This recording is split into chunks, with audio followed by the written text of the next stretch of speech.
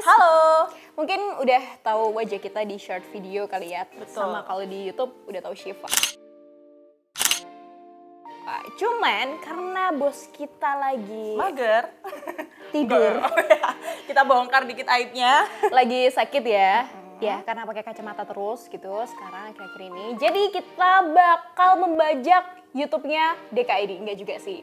Karena kita juga mau merekomendasikan handphone yang harganya under 5 jutaan 5 aja. juta, 5 juta terbaik ya Mel ya? Ya, jadi di video kali ini kalian nonton sampai habis karena HP mana sih yang cocok buat kalian? Benar.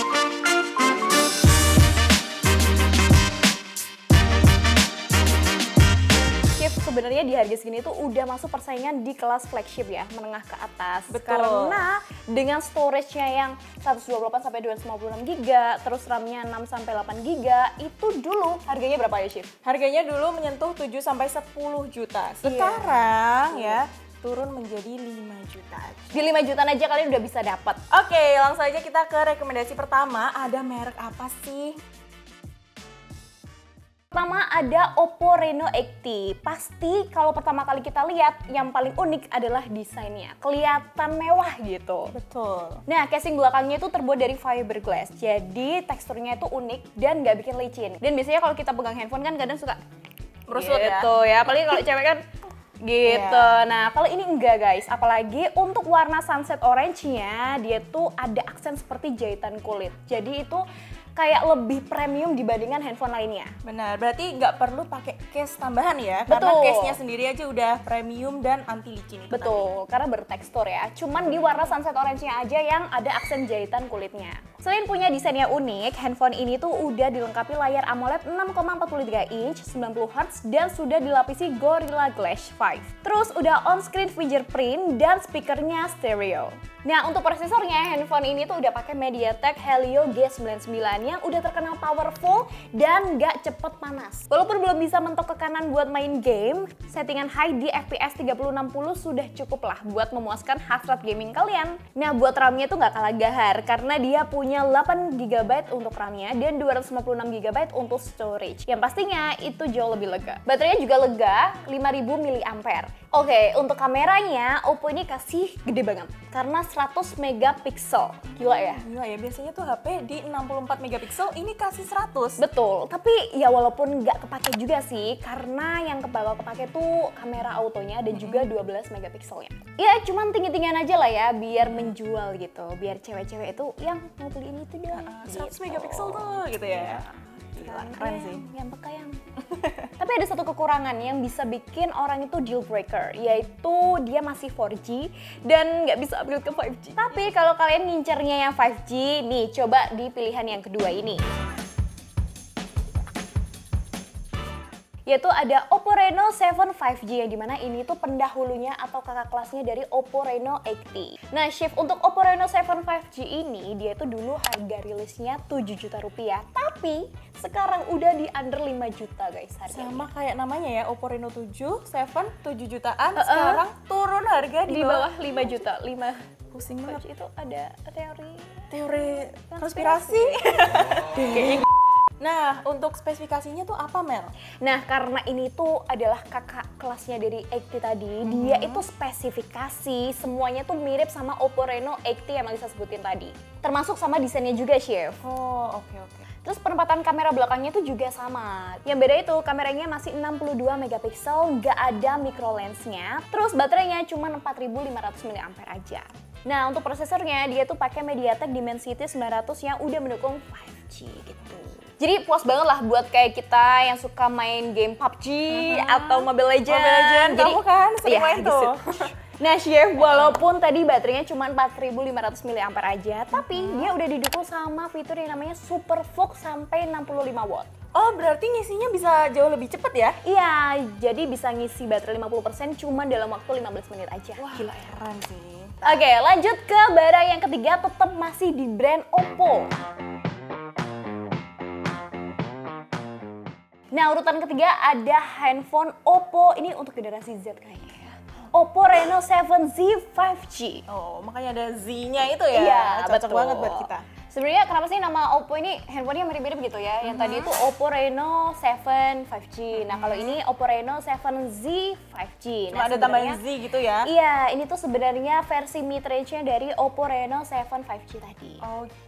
Nah, secara konsep desain dan beberapa fitur seperti layar AMOLED, fingerprint, baterai, dan resolusi kameranya tuh sebenarnya semua sama.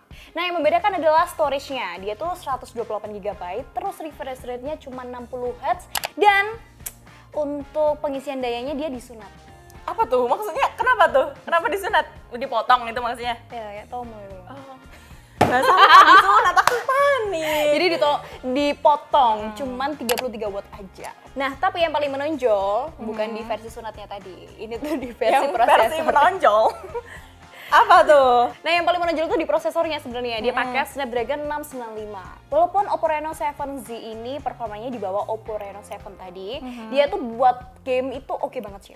Berarti masih bisa gesit satset ya untuk Masih main gesit saset game. karena dia pakai Snapdragon 695 itu tadi. Jadi Oh. punya bobotnya adil lah istilahnya. Nah, dia tuh ada juga minus di bagian kameranya. Dia nggak punya kamera ultra wide gitu. Jadi kan nggak bisa ini apa kalau Foto bareng-bareng, foto foto- bareng-bareng yang sampai 0,5 Iya, gitu kan. kelihatan semua ruangannya Iya, gitu ya. kayak gitu harus pakai filter, nggak apa-apa. Nah, dia itu walaupun cuman ada kamera bokehnya aja, tapi dengan harga 4,2 juta, ini oke banget lah.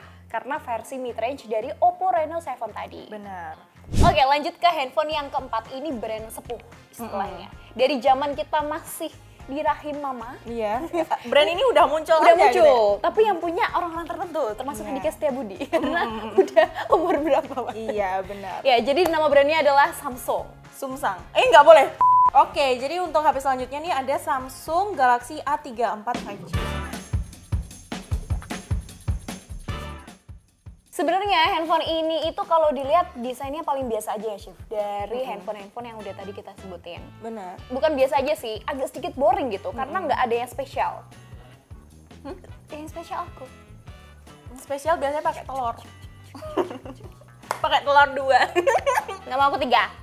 Desainnya tuh karena mirip semua chef rata-rata, makanya agak sedikit boring gitu. Tapi Mel di seri A ini dia tuh ada keunggulan yaitu udah mendukung sertifikasi IP67 yaitu tahan cipratan. cipratan air. Iya. Jadi bisa dibawa renang ya handphonenya di antara Ya, yang cuma lainnya. cipratan doang ya, jangan dicemplungin. Oh gitu, cipratan air, cipratan air mata, cipratan air hujan, kayak gitu. Ini cocok buat yang biasanya telepon malam-malam terus. Ya terus nangis gitu. Nice. Kamu Iya. kenapa nggak chat aku hari ini? Iya, Gitu. bisa itu HP-nya mendukung itu. Cuman karena tadi desainnya udah boring ya, tapi dia plusnya ada di fitur yang bisa kena cipratan air tadi. Dia tuh juga punya prosesor yang lebih baik lah dibandingkan yang lainnya. Karena dia tuh jauh lebih stabil istilahnya. Buat ngegame tuh satset ya. Iya, apa Nggak nge-lag ya. Kalau boleh tahu prosesor Prosesornya adalah MediaTek Dimensity 1080 Plus. Oke. Kualitas layarnya tuh juga dibekali dengan 120 Hz on-screen fingerprint sensor dan juga speakernya yang sangat sadis bikin kuping kita tuh sampai budak.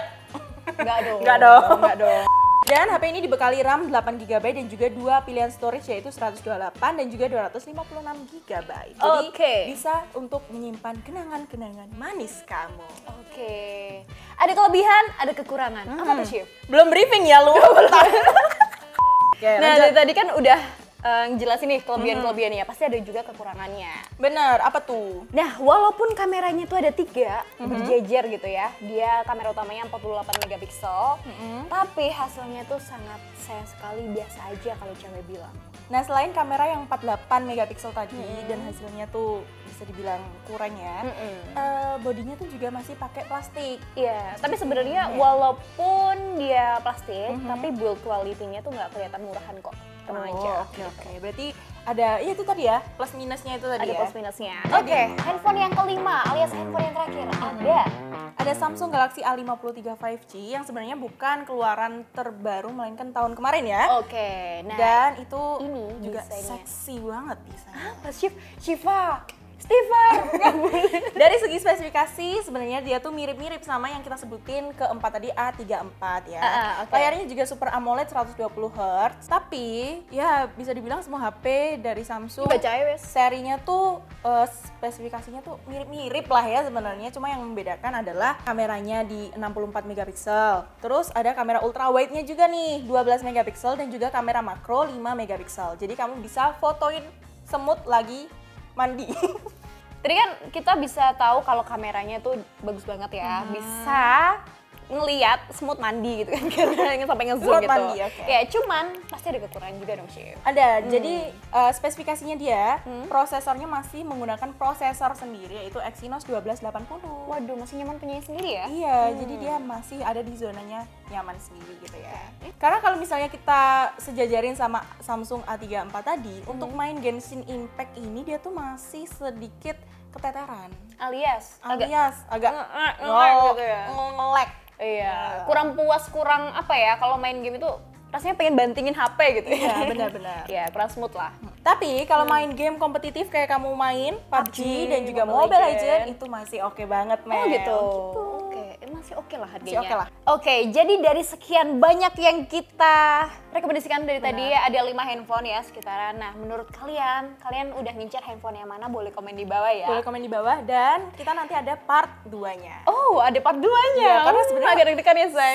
Naskahnya tuh masih banyak, skripnya tuh masih segini, saya. Iya, tapi gitu ya. Tapi tim editing di belakang udah nangis. Jadi ya kita akhiri video ini, kita see you di part 2 mungkin kalau ada gitu ya. Iya, jadi mungkin kalian juga bisa rekomendasiin HP apa aja sih? Oh, 5 jutaan terbaik betul. versi kalian. Oke, boleh komen di bawah dan kalau misalnya ada kekurangan kata dari kita, mohon maaf ya guys ya, karena ini for the first time kita berdua di sini. Betul. Kalau kalian suka boleh eh, ketik Melisa dan Shiva go go gitu. Kebiasaan live TikTok, maaf ya guys. Yaudah, see you on the next video. See Bye-bye. dadah.